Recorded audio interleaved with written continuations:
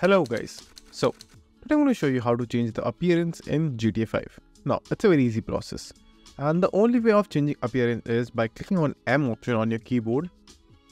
Then over here you will have an option of appearance. Just simply choose that and now at the very top you will have an option of change appearance. Now it is going to cost you 100,000 so if you want to do it just simply click on select and then it will take you to a new menu and that will be the appearance changing menu. Right over here, you can change the appearance, whatever you may want. So just simply change the appearance that you want. So after doing all the changes, just simply click on save and continue at the very bottom. And then if you want, you can also change your character name if you want to. So just simply enter that or if you want to keep the same name, just simply hit enter on your keyboard.